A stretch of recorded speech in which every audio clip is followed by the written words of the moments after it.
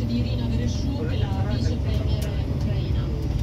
Azzurra ovviamente grazie a te e a Massimo Lasciareo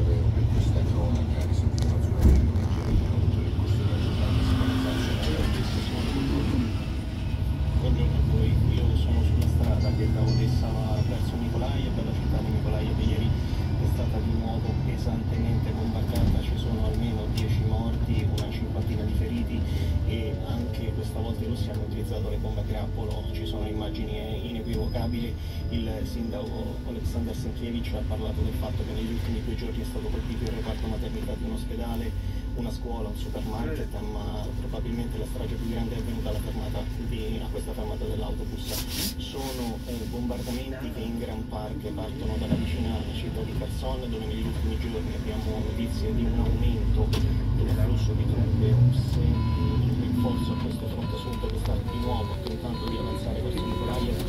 Ieri i testimoni che abbiamo sentito proprio in questo ci hanno detto non abbiamo mai sentito così tanti razzi, così tanti eh, cannoneggiamenti negli ultimi due giorni verso il fronte di Nikolaev.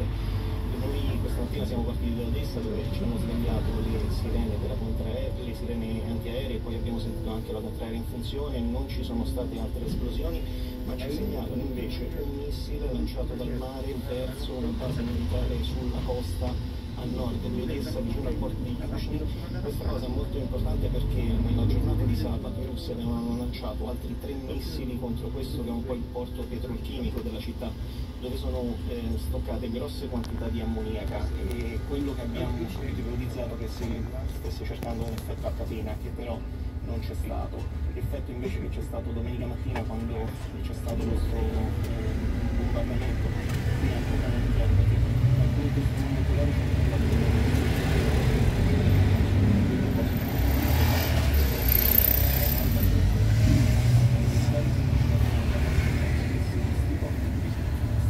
che eh, c'è stato solo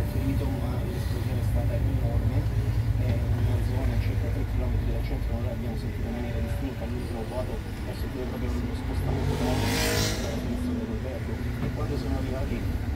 questi depositi hanno usato per tutta la giornata a quel momento